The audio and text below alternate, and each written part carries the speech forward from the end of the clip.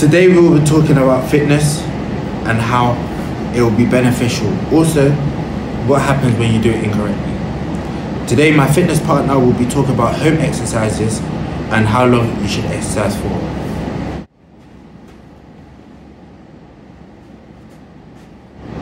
I made it slower.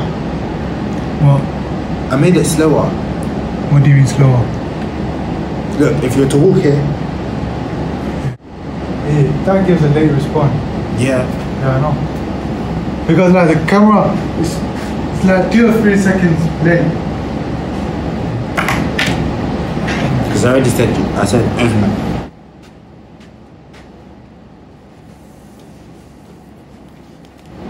We will be also talking about what exercises you do at home and how long the exercises will last.